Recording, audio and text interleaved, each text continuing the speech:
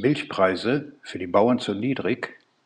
Das Fragezeichen, das uns die Initiatoren für, den, für das heutige Thema gesetzt haben, können wir eigentlich getrost weglassen. Denn der Milchpreis ist objektiv viel zu niedrig. Landwirtschaft und Marktwirtschaft, das sind zwei Gegenpole, die irgendwie nicht so richtig zusammenpassen wollen. Denn in der Wertschöpfungskette sind die Landwirte immer das schwächste Glied, abgeschlagen von ihren Abnehmern, den Molkereien, und noch weiter entfernt von deren Abnehmern, dem Lebensmitteleinzelhandel. Die Preise, die die Milchlandwirte für ihre Rohmilch bekommen, und damit sind wir jetzt schon bei der Marktwirtschaft, bestimmen Angebot und Nachfrage. Und da klemmt es gewaltig. Denn die Milchleistung wächst seit Jahren, obwohl wir weniger Höfe, aber auch weniger Milchkühe haben. Mit der Folge, wir haben einfach zu viel Milch. Und das drückt bekanntlich auf die Preise. Dazu kommt jetzt Druck durch die pflanzlichen Alternativprodukte, die aktuell mit enormen Zuwachsraten beim Verbraucher punkten. Der politische Ausweg lautet noch mehr Subventionen für die Milchlandwirte oder dann doch besser die marktwirtschaftliche Variante, wir brauchen einfach mehr Nachfrage, um das Angebot zu deckeln. Dann müsste auch der Milchkonsum steigen. Wachstum ist durchaus machbar, denn Milchprodukte sind innovativ und zählen zu den Grundnahrungsmitteln.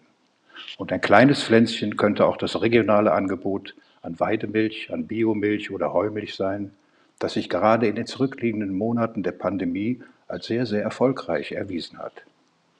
Reden wir also über den Wert der Milch. Unsere heutige Diskussionsrunde ist besetzt mit der Landwirtin Birgit Blömer aus Rede. Das liegt irgendwo im westlichen Münsterland. Frau Blömer, Sie können uns hören. Ja, guten Morgen in die Runde. Herzlich willkommen. Dankeschön. Aus Kall in der Eifel ist uns Wolfgang Ahrens zugeschaltet. Herr Ahrens berät und unterstützt Hersteller, die insbesondere auf Premium-Konzepte im Lebensmittelhandel einführen oder voranbringen möchten.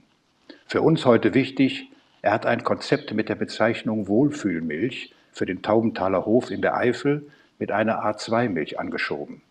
Realisiert inzwischen bei Edeka, bei Globus oder Kaufland, also alles durchaus bekannte und klangvolle Namen aus dem Einzelhandel. Hallo Wolfgang, wir duzen uns und wir bleiben auch beim ja. Guten Morgen, Hans. Hallo in die Runde. Gut. In Engelskirchen aus dem Bergischen, da begrüße ich Hans Stöcker. Er ist selbstständiger Milchlandwirt, zugleich aber auch Mitglied im Aufsichtsrat der niederländisch-deutschen Molkereigenossenschaft Friesland-Campina. Herr Stöcker, Sie können uns auch hören? Ja, ich kann Sie hören und herzlich äh, willkommen auch von meiner Seite. Gut, ich habe irgendwo jetzt gestern gelesen, Sie waren mit Björn Freitag in Sachen Milch auf einem Milchradweg unterwegs. Ich wusste nicht, dass ein Milchradweg existiert. Sind Sie selbst mitgefahren?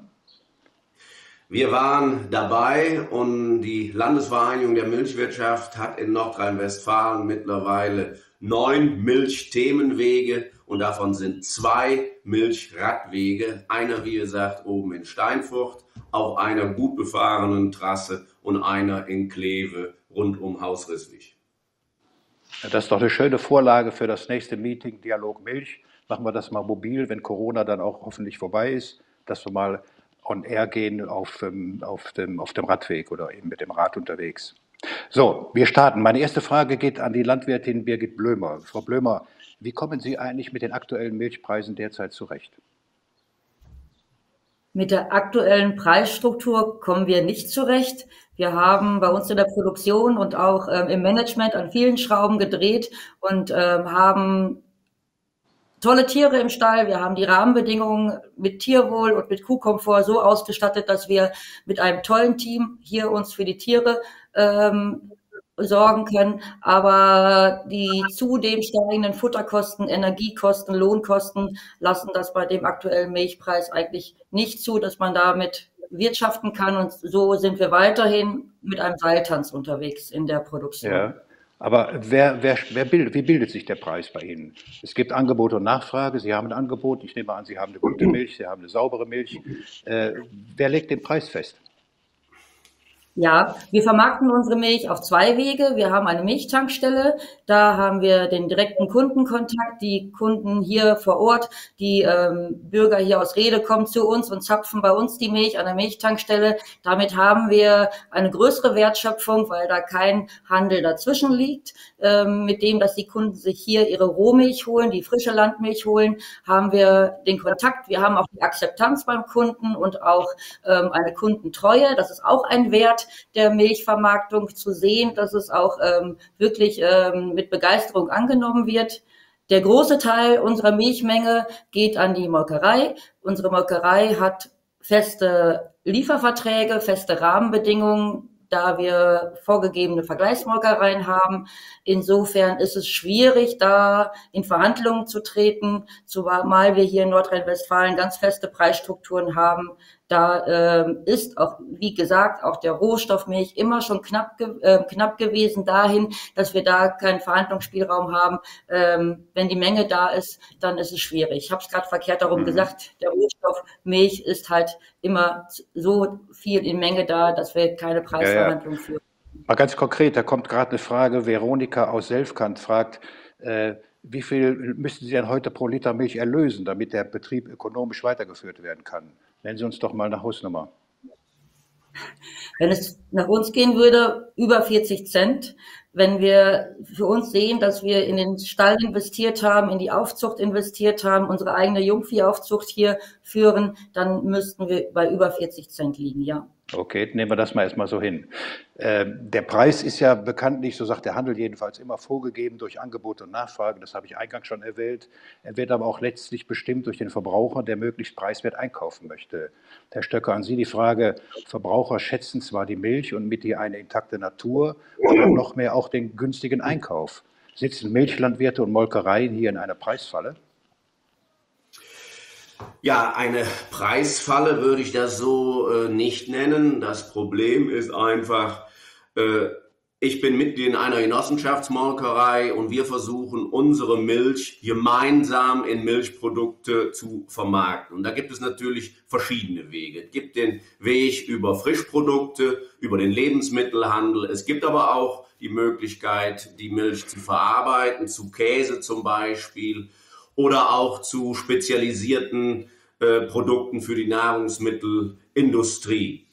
So, und unsere Molkereigenossenschaft hat eben einen Weg gesucht, um überall äh, natürlich im Markt mitzuspielen, damit man auch, ich sag mal, äh, die Milch in andere Kanäle schieben kann, wenn zum Beispiel der Lebensmittelhandel äh, äh nicht das bezahlen will, was wir äh, eigentlich haben müssten. Aber das ist nur begrenzt möglich. Und das sehen wir. Und dann kommen wir eben in den Konflikt, dass wir eben äh, die Milchpreise, die wir eigentlich haben müssen, mit dem Handel nicht durchsetzen können.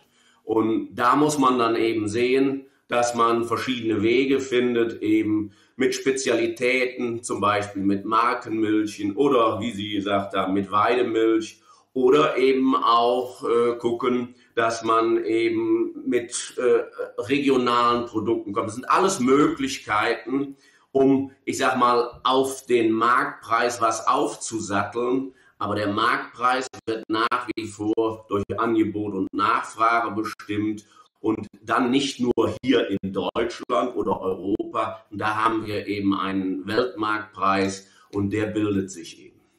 Mhm.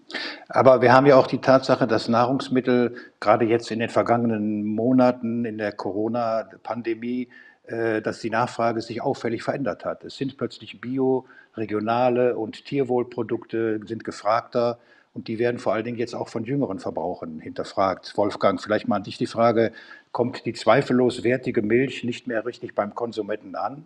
Brauchen wir vielleicht doch mehr Nähe zu den Milchhöfen und ihren Milchtieren? Also Stichwort Stallgeruch.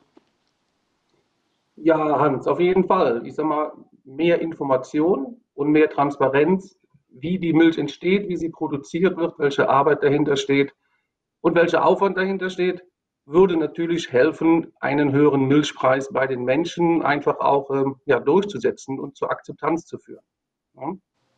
Denn die Die großen Preisstrukturen, wie meine Vorgänger jetzt schon erläutert haben, das kann der einzelne Landwirt ja nicht verändern.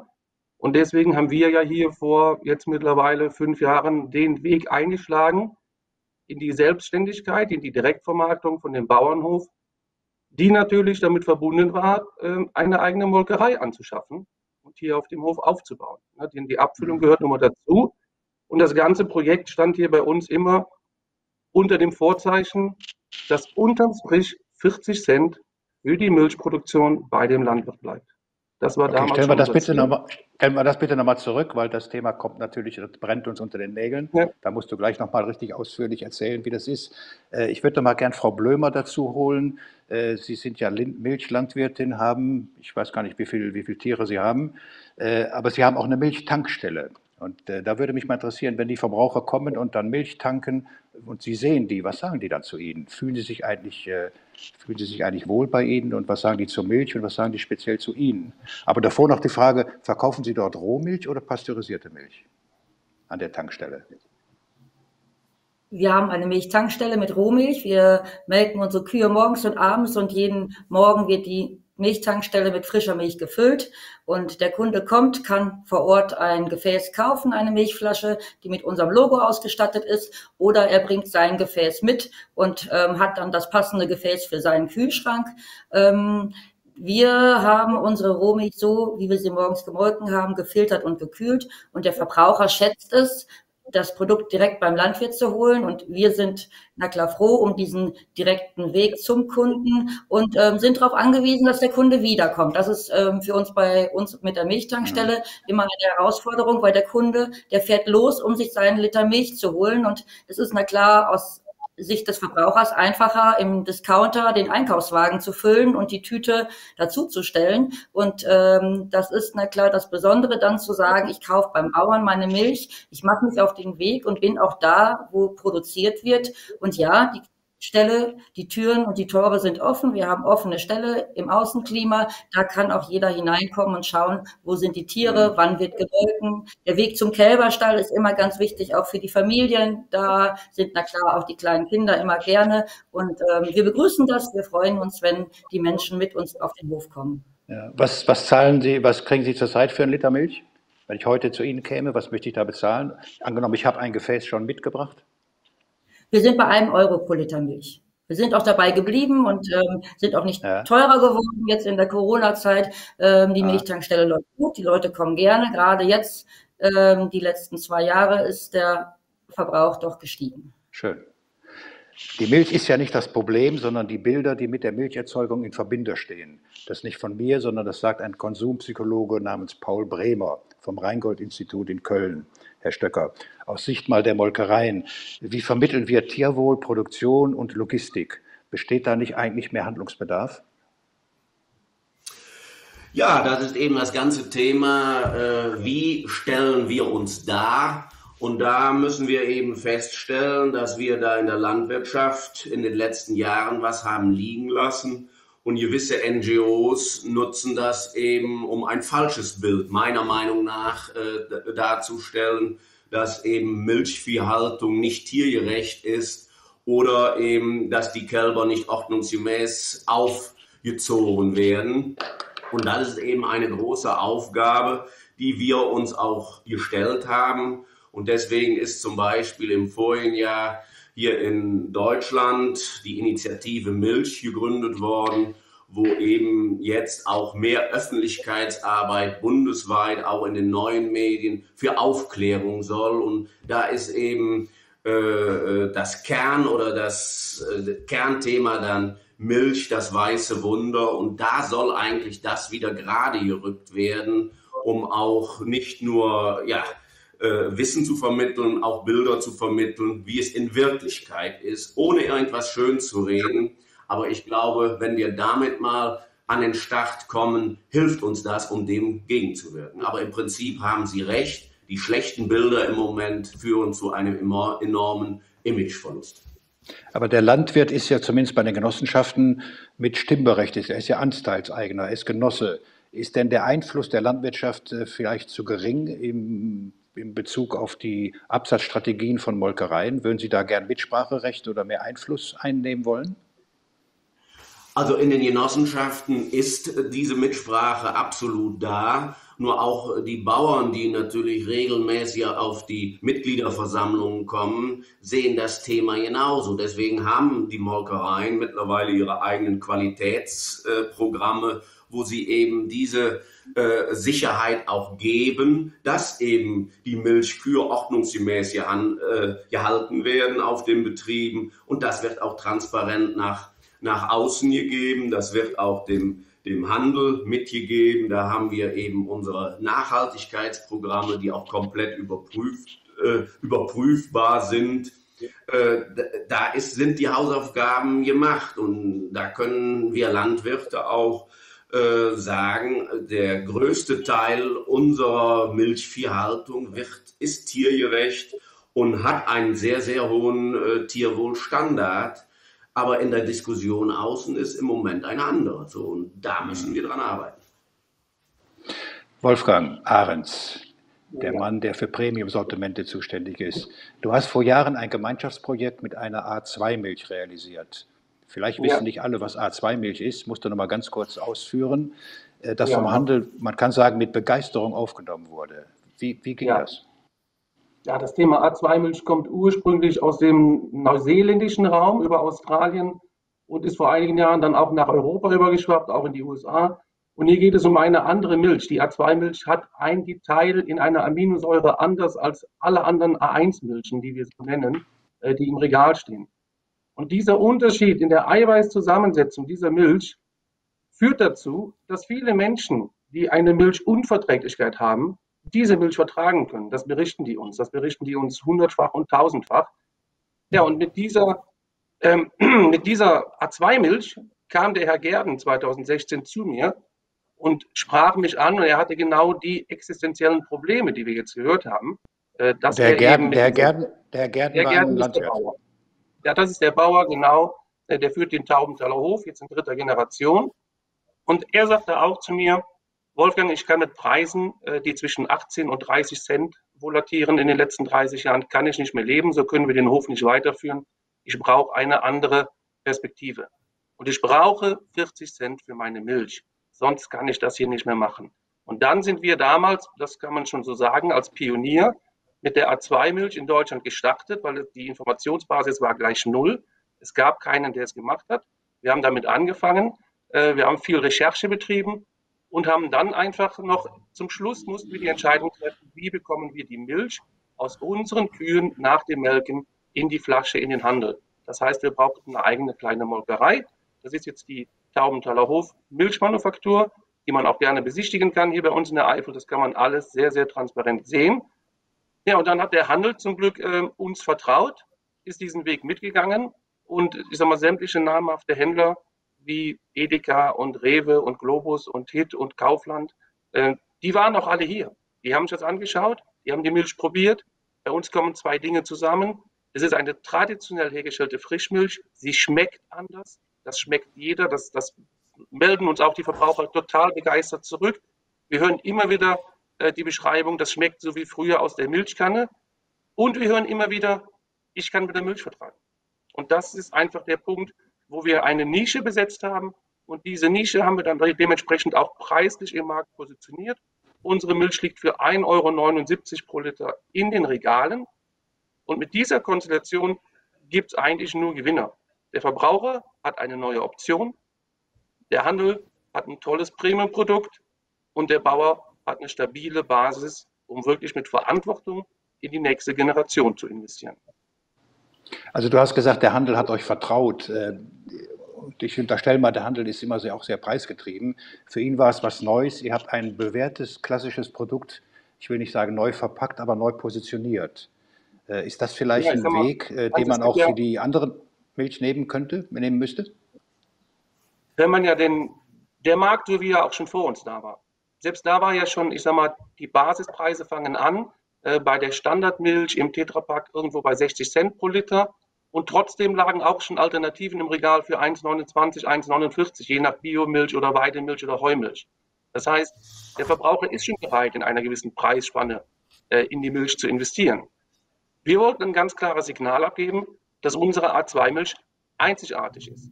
Die ist selten, die ist einzigartig, die ist besonders.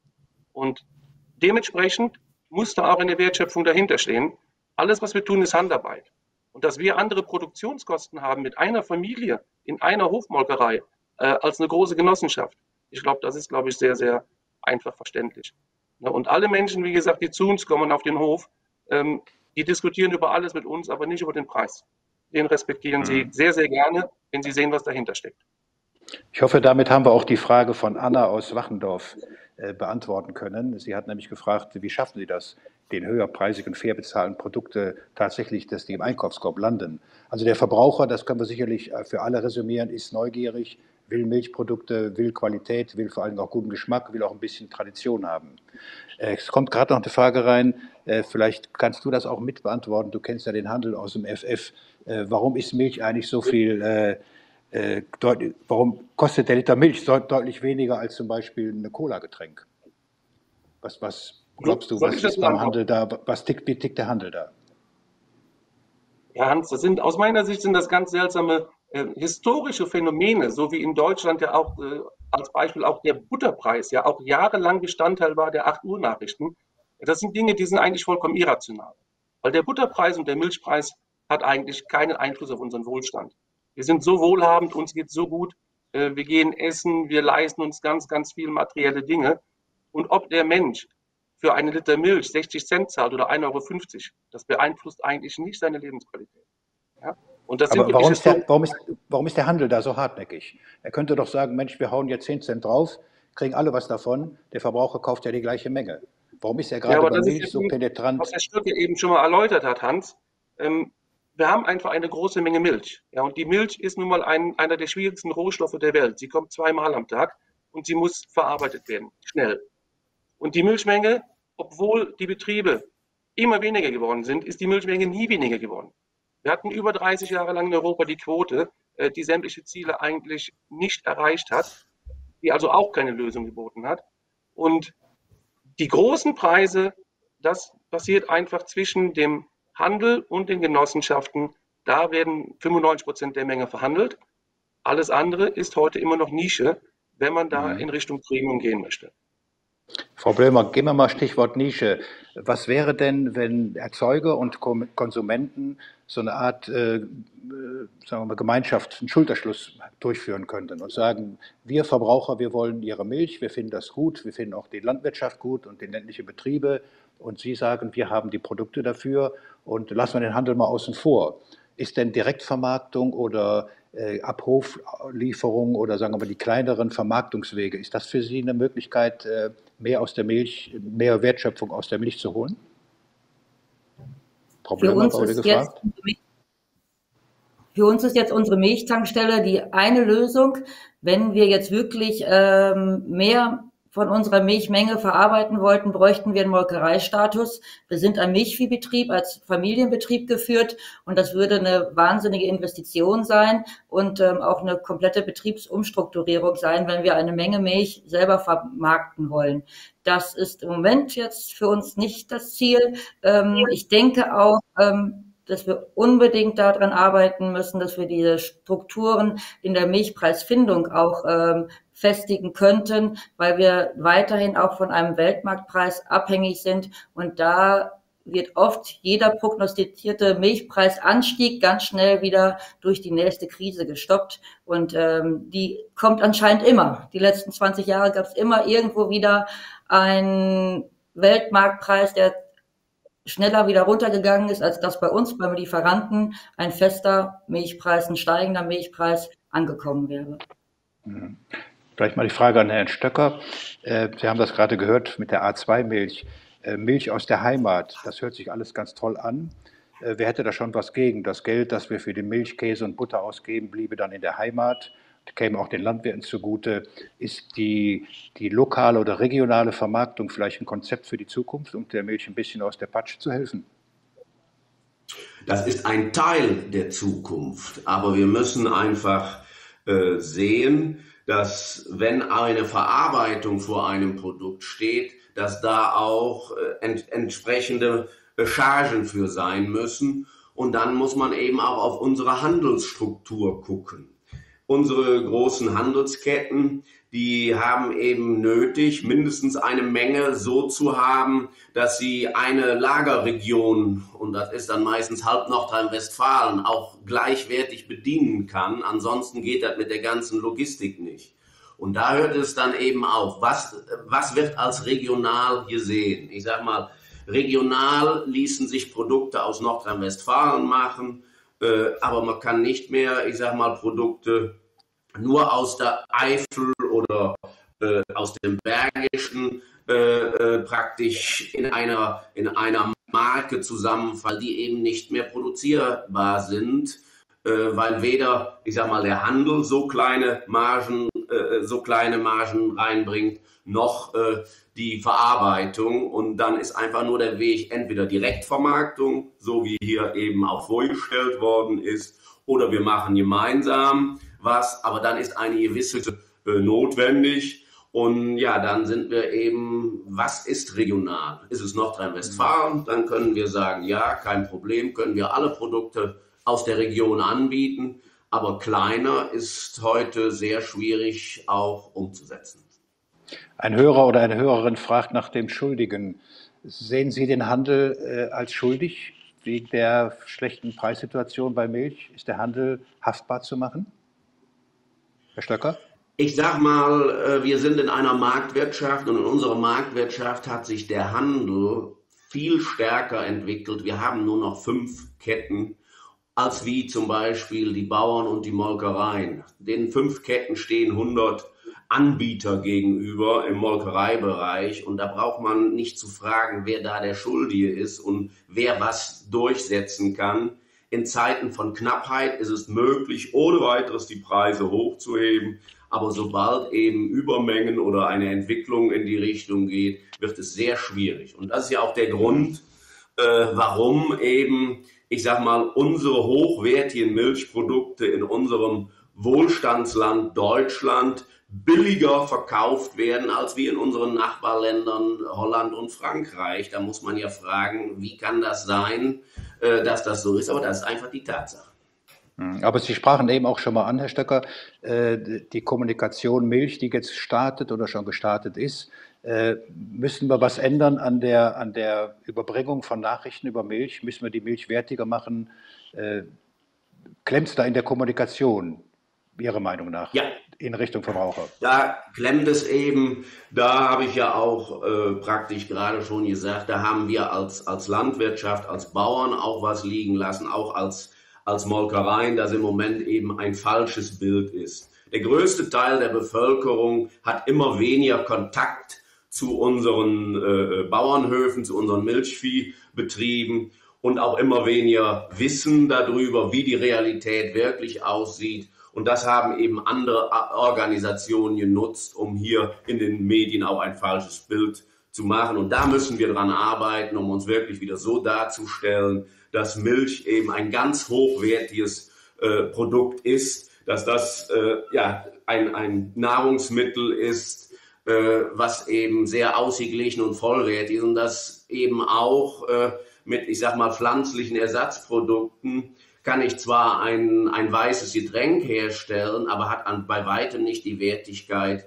wie die Milch, weil Milch eben auch sehr viele positive Nebenwirkungen ja. hat. Aber Wolfgang, ja, ja, Entschuldigung, Wolfgang, gutes Stichwort, äh, die Milchalternativen, die kommen aber auch ganz anders daher. Meine Frage, bitte kurze Antwort, wir sind schon fast knapp in der Zeit. Milch digitaler? Muss Milch digitaler werden? Oh, Hans, schwere Frage. Ich denke insgesamt, wir brauchen sowieso mehr Information für die Milch. Wir müssen es als Gesellschaft schaffen, dass sich die Gesellschaft mehr für gesunde Ernährung interessiert. Und das betrifft alle Lebensmittel. Da ist die Milch nur ein Bestandteil eines Konzepts. Und das kann ganz einfach passieren, schon in Kitas, in Schulen, äh, dass man der Ernährung auch in den Schulen einen anderen Stellenwert beimisst, äh, dass man Schulklassen auf Bauernhöfe bringt, dass einfach mehr Information und mehr Wertschätzung entsteht. Das müssen die Deutschen lernen, dass wir in Zukunft wenn wir gesünder und besser leben möchten, dann müssen wir auch einen etwas größeren Teil unseres Einkommens in die Ernährung investieren. Ja, das ist ein ganz Danke. wichtiger Punkt. Das ist eine Danke. Ich muss mit Blick auf die Uhr möchte ich nicht meine Abschlussfrage äh, weglassen. Ganz bitte, ganz kurze Antwort. Äh, wir nehmen den Fall, äh, die, die Milch, der Milchpreis ist nicht zufriedenstellend, das haben wir gerade erkannt. Und die Frage lautet jetzt an Sie mit der Bitte um ganz kurze Antwort, wo, wofür plädieren Sie mehr? Mehr Subventionen für die Landwirte oder muss der Handel und die, die Molkereien ein äh, bisschen attraktivere Produkte herstellen, damit wir größeren Verkauf haben? Also mehr Power in die Produktion und in die Entwicklung oder doch mehr Subventionen? Fange ich mit Frau Blömer kurz an. Bitte keine Subvention. Als Rohstofflieferant sind wir immer das letzte Glied in der Kette und unsere Produktion ist gläsern. Insofern ähm, würde so ein Preis immer nach unten durchgegeben werden. Okay. Wolfgang? Subvention oder Subvention. Power? Nein, bitte keine Subvention. Alle Beteiligten im Markt, äh, auch Politik, auch Produzent, auch Händler, müssen gemeinsam ein Konzept erstellen, um der Milch wieder mehr Wertigkeit zu geben und die Menschen besser zu informieren. Herr Stöcker? Ja, dem kann ich mich nur anschließen, aber ich möchte auch noch darauf hinweisen, wenn die Gesellschaft eben höhere Anforderungen wie im Markt stellt bei Tierwohl, äh, äh dann muss das auch über andere Seite kommen. Ansonsten ist es möglich, über den Markt auch mehr Geld auf die Höfe zu kriegen und daran müssen wir arbeiten. Das muss das Kernthema sein. Das ist ein wunderbares Schlusswort, dem schließe ich mich gerne an. Ich hoffe, Sie hatten eine unterhaltsame halbe Stunde gehabt. Ich bedanke mich ganz herzlich bei Ihnen, den Teilnehmern, die trotz des wunderschönen Wetters jetzt äh, im Homeoffice äh, uns Rede und Antwort gestanden haben. Vielen, vielen Dank auch den Zuhörern an den Apparaten und Fernsehschirmen, dass Sie bei uns waren. Ich hoffe, es geht bald weiter und äh, ich wünsche Ihnen einen wunderschönen Sonntag noch und machen Sie es gut. Alles Gute für die Zukunft und vor allem bleiben Sie gesund. Auf Wiederhören und auf Wiedersehen.